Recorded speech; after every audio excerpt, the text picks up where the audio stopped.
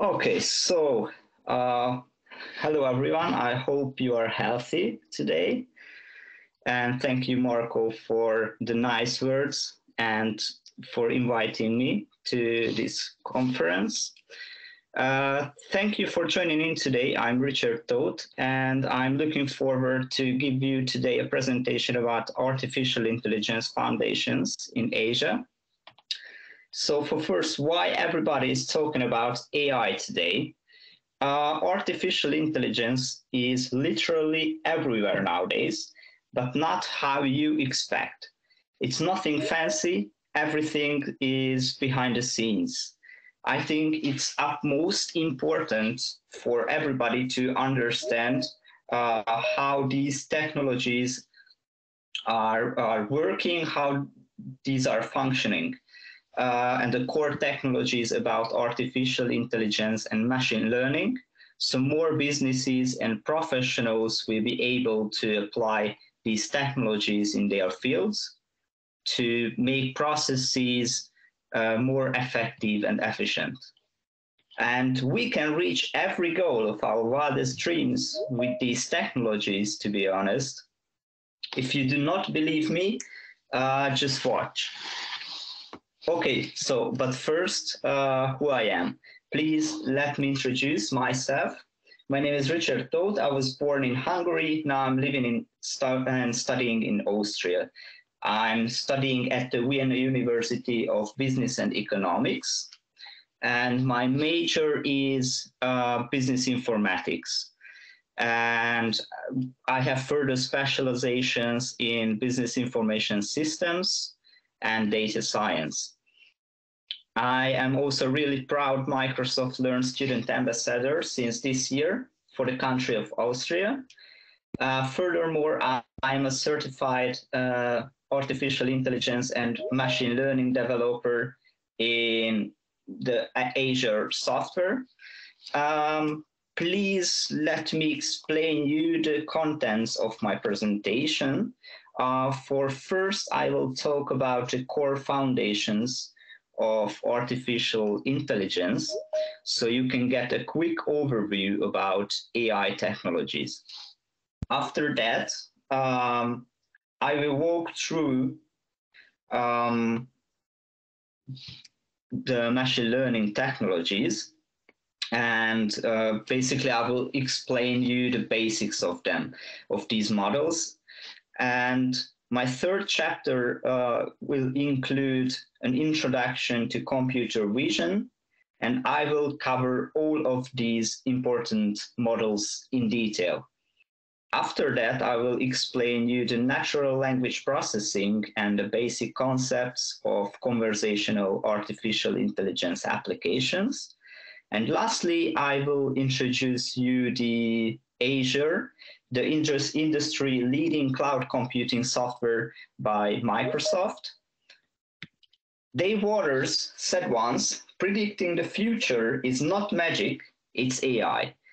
It just instantly grabbed my attention. And why?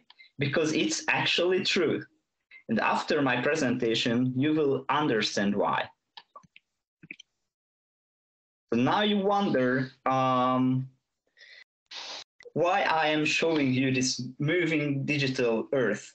So let me introduce you the Earth 2 supercomputer. Uh, actually, NVIDIA just revealed plans to build the world's most powerful AI supercomputer uh, dedicating to predicting climate change. Uh, and this uh, concept is named Earth 2. The system would create a digital twin of Earth in Omniverse.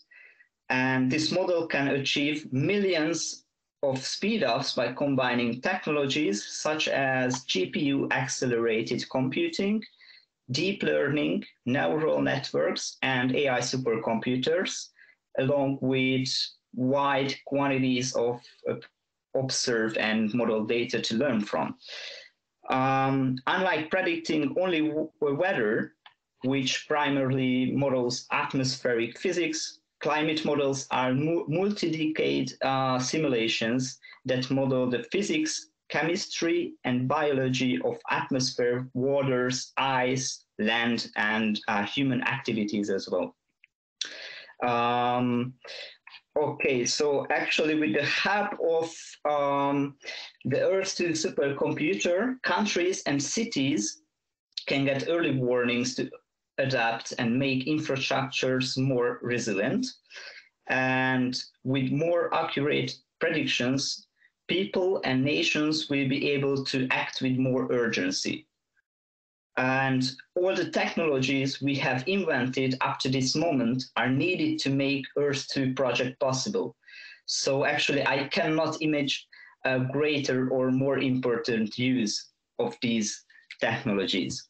So now let's jump into AI, artificial intelligence. So artificial intelligence is basically a software and algorithm that imitates human decisions and behavior based on huge number of data. Um, and there is a huge misconceptions about AI. Uh, AI actually cannot imitate intelligence. It's just basically a creative and attention gra grabbing name of it. It's nothing like a human being. And of course, uh, researchers are developing robots that are really realistic, but it's uh, not the goal of artificial intelligence at all. Artificial intelligence creates quick and automated decisions with low failure rate based on a learned database. And the most important uh, principle is more data leads to less failure. And most common AI workloads are machine learning. This is simply put the way we teach a computer model to make prediction and draw conclusions from data.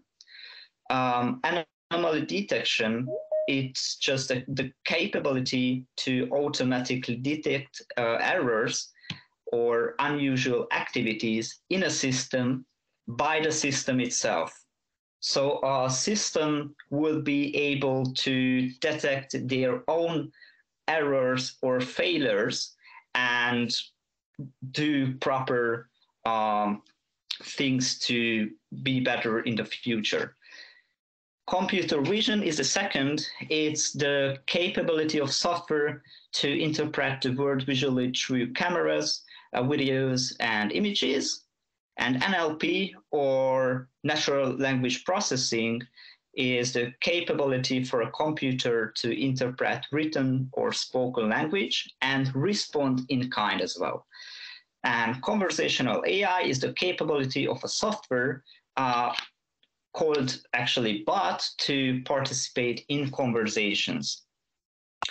Um, so let's jump into the introduction to machine learning machine learning is a, one of the most important technologies behind AI. It's the basic foundation for most AI solutions. And machine learning is a technique that uses mathematics and statistics to create a model that can predict unknown or future or both uh, values the goal of the machines is basically to create a predictive model by finding relationships in previous data or uh, databases. Um, we have to understand that machines learn from our data. Uh, most common machine learning models are regression, classification, and clustering. There are also other models, of course, but these are the most important, and I will explain you all of these three in details. For first, let's start with the machine learning uh, regression model. Um, regression is a machine learning technique uses to predict numeric values. This is really important because other the other two models, clustering and classification, is not working with numeric values. So regression is an example of supervised machine learning technique in which you train a model using data that includes both features and known values for a label. After training has been completed, you can use the train model to predict labels for new items for which the label is unknown. So I just write, I just wrote here a practical example, and through this you will understand better, and you you you can understand all of these mod models with these practical examples. So, for example, a bike rental can use history data to predict future events. So, for example, a bike rental rents out uh, bikes like bike bicycles for example or like mo- motorbikes doesn't matter. And a system can basically um, organize the data uh, for example uh, on a rainy weekend in the past how many bikes were rented out? So it can um, predict predict uh, if if if it rains on a weekend, for example, in the next month, how many bikes will be rented out. And also it can be done with, with, any kind of situations. It was just an example with a bike rental and with, with, with weather changes. So the next model is classification model. Um, classification is a form of supervised machine learning technique as well as the regression model. So this is used to predict which category or class an item belongs to. There's also a practical example. So a health clinic can use the characteristics of a patient, such as weight, weight, blood pressure, or any other features to predict uh, whether the patient is at risk of diabetes. In this case, the characteristics of the patient are the features and the label is a classification of either one or zero. So it works with a binary system. So there is no two nor three or uh, like other options like non-classifiable or something. It works with null or one, or yes or no, non-diabetic or diabetic. The third model of machine learning is the clustering model. Clustering is a form of machine learning that is used to group similar items into clusters based on, uh, based on their features. Uh, clustering is an example of unsupervised machine learning in which you train a model to separate, separate items into clusters based purely on their characteristics. There is no previous known cluster value from which to train the model. I brought you a practical example here as well. So it's like more abstract than the last two. A researcher is so might take measurement of penguins and group them based on similarities in their proportions. So they are just doing clusters uh, of similar penguins on animals, and the machine learning model is just clustering the unknown penguins in the future to these clusters.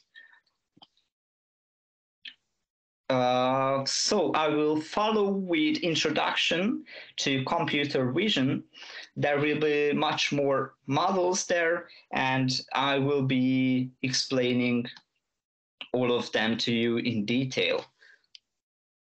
So what, but for first, we have to uh, understand what is computer vision as a whole. Computer vision is an area of artificial intelligence in which software systems are designed to perceive the world visually through cameras, images, and video as well. Uh, there are multiple specific types of computer vision problem that AI engineers and data scientists can solve using a mix of custom machine learning models. Computers are able to process and understand images after learning from a huge amount of data. Uh, applications of computer visions are image classification, face detection recognition, optical character recognition, object detection, image analysis, and semantic segmentation. Don't worry, I will explain them all with really good visualizations. So for first, let's start with the image classification model of computer vision. Image classification is a machine learning technique in which the object being classified is an image. To create such a model, you need data that consists of features and their labels. The existing data is a set of categorized images. Dig digital images are made up of an array of pixel values. Uh, this is just an illustration. So of course, a picture of a banana or a picture of an apple will be not containing the same values for all of the uh, pixels. It's just an illustration. And these are used as features to train the model based on the known image classes. Uh, so this model is trained to match the patterns in the pixel values to set of uh, class labels. So uh, we just put a database uh, to um, computer, uh, for example, with hundreds of pictures of bananas. And almost all of the pictures have the same pixel values for the bananas.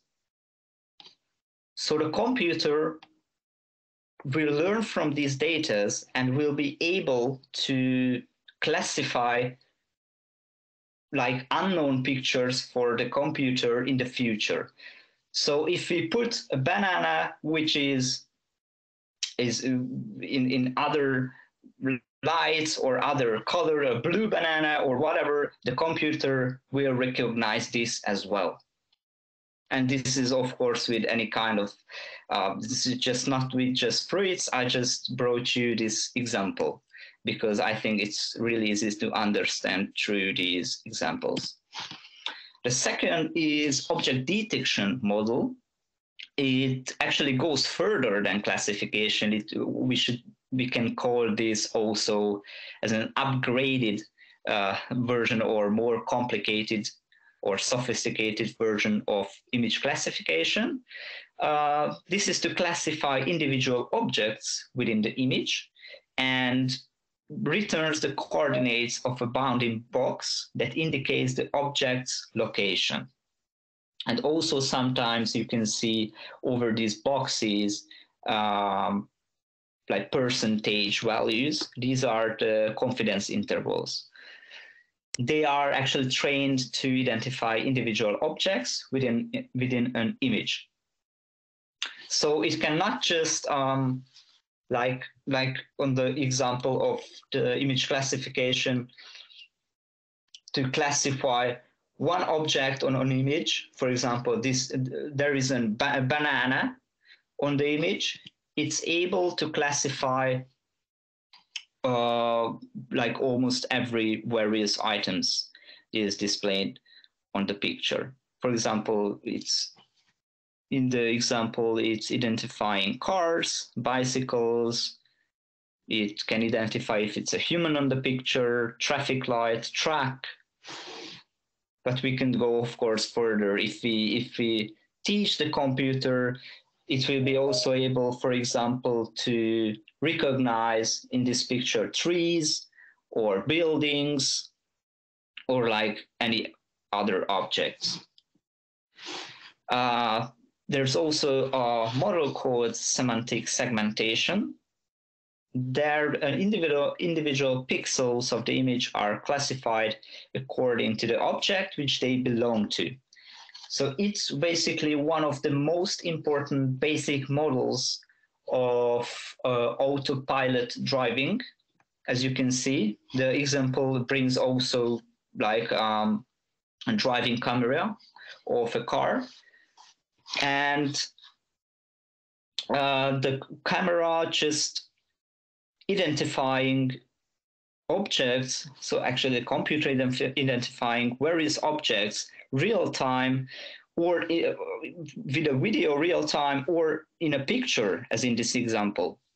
So to be able to recognize cars, uh, sky, terrain, bus, bicycles, wall buildings, or any kind of pedestrians. It's a really sophisticated technique. Um, image analysis model goes further. Uh, it's basically a cooperation of the different models uh, to make description about, about a given image. So um, it uses all of the models I've just explained to you to describe an image with text. Face detection and recognition model, they are basically very, very similar, but there are differences, of course. Uh, face detection involves identifying regions of an image that can contain human face and it's returning bounding box coordinates that form a rectangle around the face. So it's basically a really important uh, technology for security cameras uh, at airport, for example. So they are um, recognizing where are the persons on uh, a picture or in a video or real time uh, facial recognition identifies for the computer known individuals from their facial uh, features. It involves using multiple images of each person you want to recognize uh, to train a model so that it can detect those individuals in new images in the future. So I think everybody knows this technology. For example, if we take a, a selfie, a new uh, a selfie with a new uh, friend, our iPhone just asking us if we can name this person or give a name this person because it recognizes that it's a new person, it's a new face in our database that is being unknown uh, until this moment. So if, for example, we name this person Wendell, uh, the computer or actually the iPhone will be able to recognize uh, this person on the future pictures. So it will be creating a nice album or a, a slideshow or whatever because it's recognizing this person we, because we told the machine before that who is this person. Optical character recognition model or OCR model uh, is basically the computer's ability to recognize printed and handwritten text in images. An OCR model can be trained to recognize individual shapes, letters, numerals, or other elements of text uh, I just brought an example to you. Uh, there's a photo of the Toronto Dominion Bank, and the computer can read what's on the picture as a photo. But there are, on the other end of the scale, there is a machine reading comprehension MRC model, uh, which is again an upgraded version of OCR model, uh, in which an AI system not only reads the text characters, but can use a semantic model to interpret what the text is about. Uh, last but not least, of course, so natural language processing or NLP and conversational AI concepts are the next chapter of my presentation. Let's start with the natural language processing model. So it supports applications that can see, hear, speak with, and understand users. There are a galore of applications, but they are um, really understand, understandable and easy to understand. Um, they are their name is actually almost self-explaining, um, so I will not cover them in detail in this presentation. Uh, there are text analysis, entity recognition, sentiment analysis, language detection in a picture uh, or video, key phrase extraction. Uh, in, in this technology, the machine will be able to extract the key phrases of a text to make uh, like really understandable notes. Um, speech recognition, language translation, like for example, Google Translator, uh, or semantic language modeling. Uh, conversational AI uh, is using bots to communicate with humans. There are the current technologies are able to apply conversational AI, such as voice calls, chat services, emails, social media postings, collaborative workplace tools. These are all classified to, uh, well, so all qualified to be able to deploy conversational AI or bot services to them.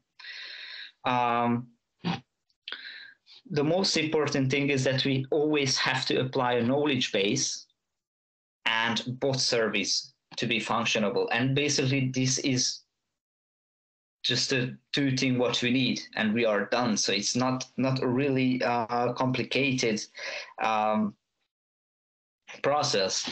So but how to define uh, knowledge base? Uh, there are two important um, options, but of course we can do like other things as well. But the most easy thing is just to upload an existing FAQ document to the machine as a database or so-called at this moment at the knowledge base. And the computer will this will this will be the brain of the bot. Or we can enter questions and answers manually but it's really really time consuming.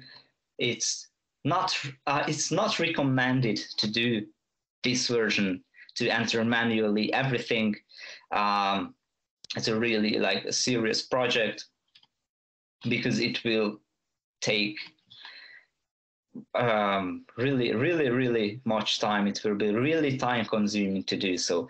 Of course, we can do this to to uh, develop just a really easy, fun bot, just to have fun, just to ask ask things like "How are you?" and we write uh, answers to this. Uh, how should a bot answer to this question or whatever? But for serious businesses, it's irrelevant. We have to upload an ex existing FAQ document or already um, um, a perfect database for this. So there are basically, I just I, I just put two screenshots of uh, chatbots types there. So there are basically the left one is uses, it's just, let's call it's in, in, indirect um, so we can not write like open questions to, to the bot. We can only write so what is shown up. So for example, how strong is your headache? Uh, we can answer to this question. For uh, this chatbot is basically uh, a healthcare chatbot.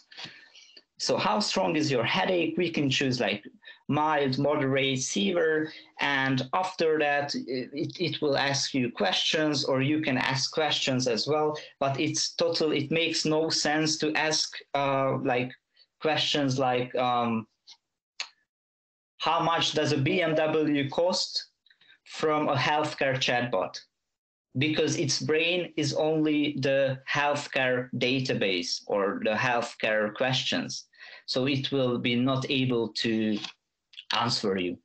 The left, uh, the right one is basically like um, it's working with open, open questions and answers. You are able to form your questions and answers, so, uh, messages how you want, and the bot will try to find out what are you wanting to say. but of course, there is a risk that the bot will not understand what you are wanting to say so that's why the left version uh, is is much more uh, secure if you do want to achieve your goals. But of course, you can apply both of them. There are just much much more risk if you apply the right one. Um, so let's get jump into Microsoft Azure. So why do you have to choose Azure? So actually, you do not have to choose Azure. Uh, of course, there are other other uh, cloud computing serv- services and businesses around there, but I think uh, Microsoft Azure is absolutely the industry industry leading software. Uh, for first, but why do firms need actually AI? Um, it will mean them higher higher effectivity so it's much easier to do processes with with the help of AI automated processes than with people. It's more precise. It, it can it can work 24 seven. It just means much more effectivity for firms, for example we can apply easily new methods. So AI helps to apply new methodologies, which can be highly valuable for the firms.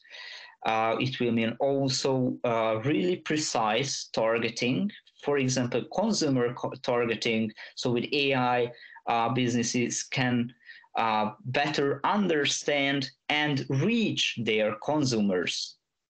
And also it will provide uh, firms cognitive prediction so we can better prepare to future ev- events so it's basically can told us what can be the future or what will be what will happen the the next week. Of course it's not 100% but with uh, let's say 90% so, what is Azure?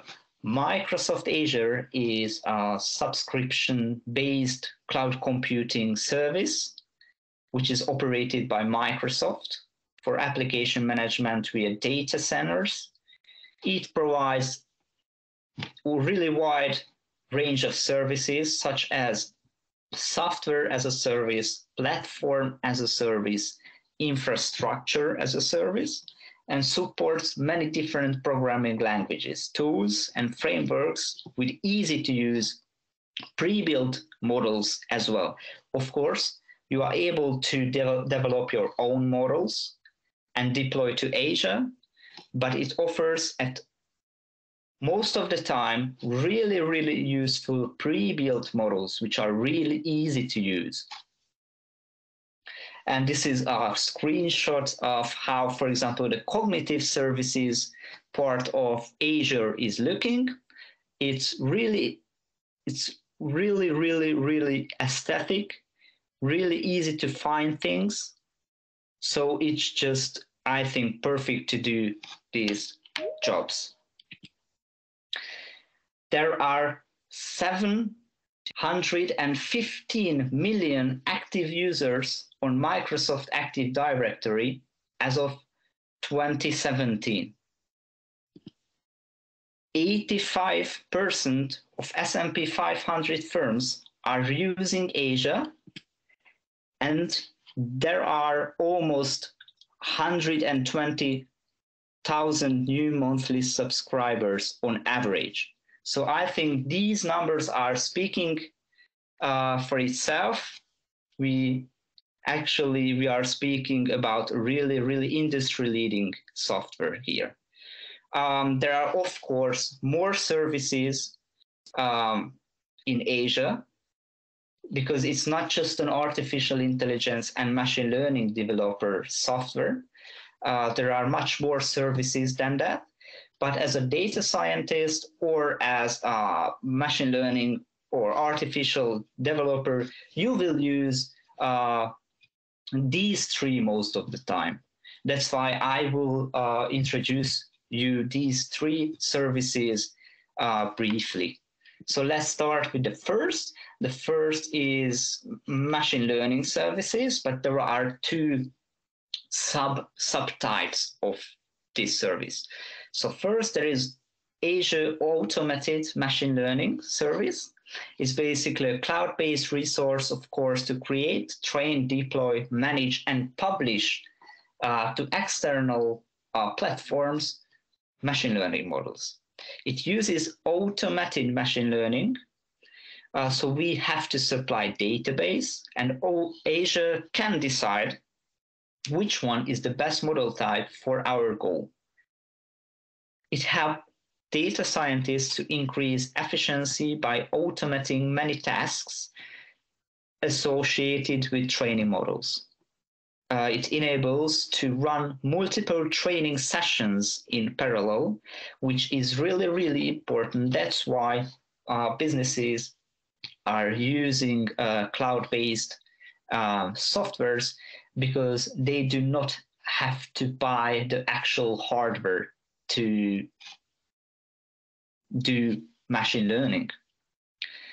And if you buy hardware, for example, for machine learning activities, maybe you, you will able only to run one training session at the time. And if it's really complicated, it will take a lot of time. But with uh, cloud-based resources, you are able to run multiple training sessions in parallel.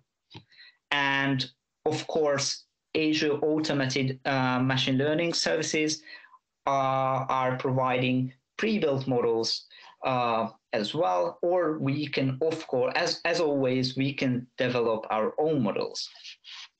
Uh, so the steps of, uh, of creating such a model or service is for first we have to this is just explained briefly of course. That's not not everything you have to do. It's just the major steps so you could get an overview of it so for first, you have to create a workspace. After that, you create a computing resource in which basically your, your, your model will be running.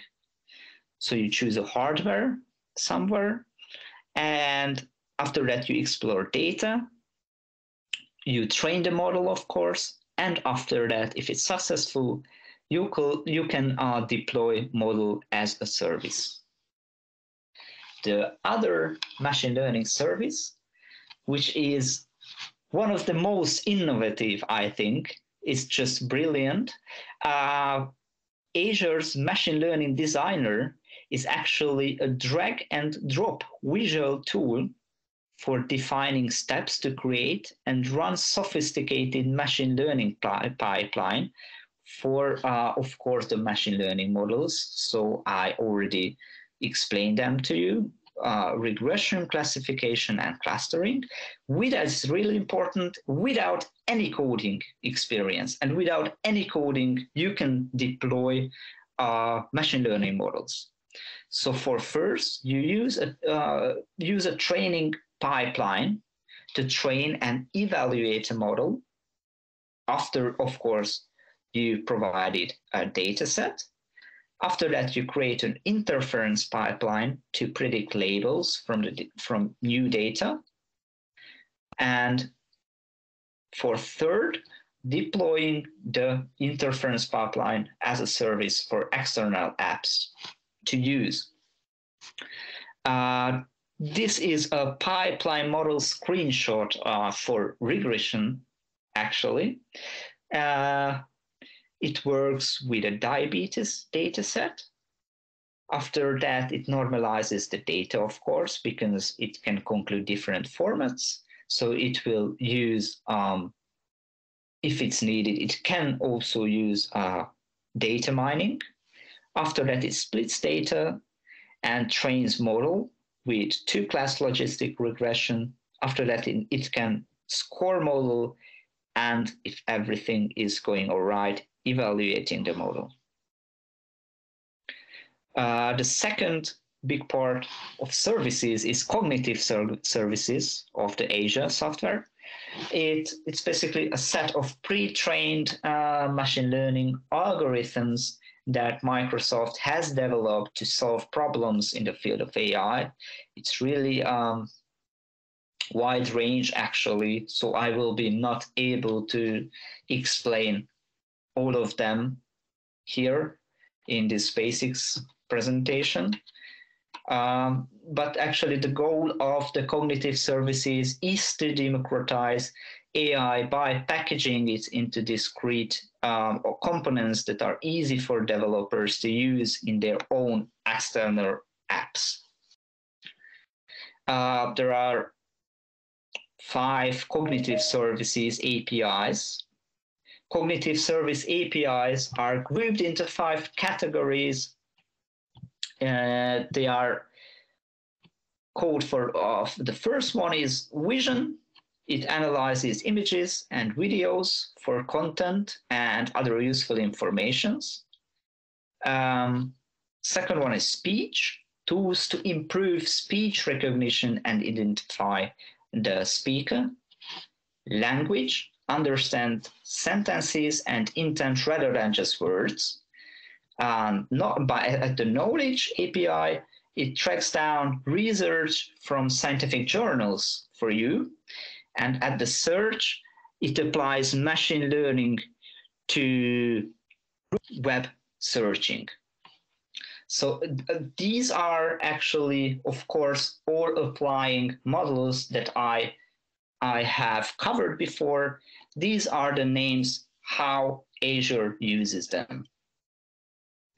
The third big services um, are NLP and bot services. So let's look for first at the natural language processing features of Azure. Um, it's, it's Azure providing text analytics. It detects predominant language, sentiment, key phrases, and entities. It also provides speech recognition and synthesis, speech to text and text to speech processes, translation services. It provides real time or static, uh, static translation, translation, sorry, to one or more, la more languages. So basically, yes, we are able to do uh, software that we are that we can uh, deploy external as well, such as, for example, Google Translator or like whatever online, online translator. We are able to create uh, 100%ly the same um, translator, translator like Google Translator with the help of Azure and deploy it as our own business. Um, and of course, it's providing language understanding where we have to keep in mind three really important aspects. We always have to define in these models uh, the utterance, entity, and the intent. So, for example, if we want to do um, system with that can switch the lights on uh, after we say it to them, uh, we have to use then a lang- language understanding model. Uh, so the intent in this case is uh, the light that will be switched on. And the entity, if we says, please switch the light on, the entity in this case is the light. And the utterance that we are saying to the computer that you have to switch the light on. I hope it, it was understandable. um, and also Azure provides a lot of uh, different bot services, for example, chatbot features. Uh, it provides pre-made databases as well that they are suitable for various fields.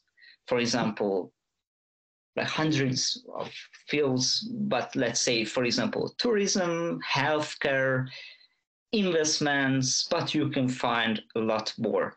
Uh, and what is also important in many languages. So it's not only it's just not only working with with English. You can find many other languages as well in Azure. Um, but we can also create um, or upload our own databases. So uh, the thing of Azure is is not that it everything is provided uh, by this by by Azure automatically, and everyone every one of these more than 700 million uh, consumers uh, are using the same databases. For example, for a tourism um, um, bot, it's not all about this. Uh, they are so Azure is providing also uh, pre-made databases, but we can we can update them with our own on business related uh, aspects and data and we can of course at, at, any part at the automated services as well we can create our own models as well. We can code our own models as well and deploy it to uh, azure. You don't have if, if if you are professional you do not have to use uh, for example this drag and drop um, model, but it's really useful and it's working for 100%. So after that, uh, we can choose the bot's answers if we deploy the database, which can be already provided as uh, by Azure, as I told you, or we can, of course, create our own preferred answers or let's say outputs. So for first, we de uh, deploy a database. After that, the preferred answer outputs, and it's ready for external application. We can deploy these bot services for our uh, Skype, for our business emails. So for example, a, co a consumer asks you for, for uh, what is your cheapest product? The bot will be able to automatically answer how do you want. It's really easy to deploy these bots and really, really, really useful.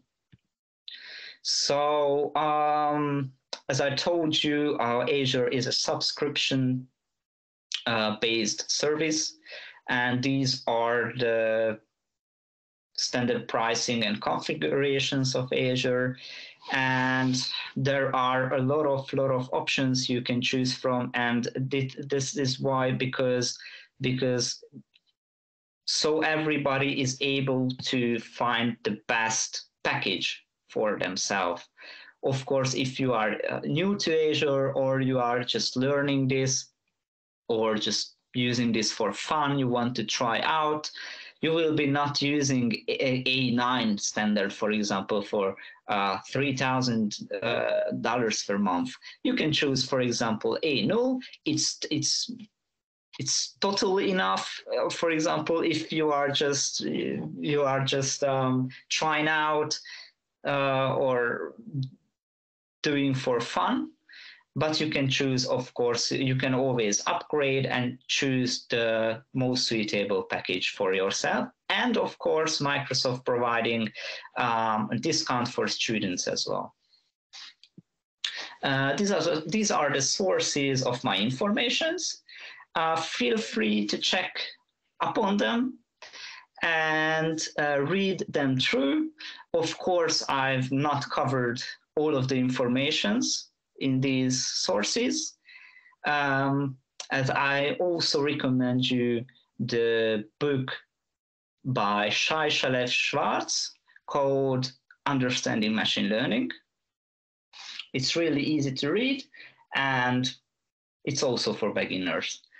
So I would like to thank you for your attention and feel free to contact me on LinkedIn, Facebook, or Instagram my this is you can find me basically everywhere uh, if you type my full name in um, or you can contact me of course uh, via my email address uh, richard.toth at studentambassadors.com uh, thank you one more time and I hope you enjoy.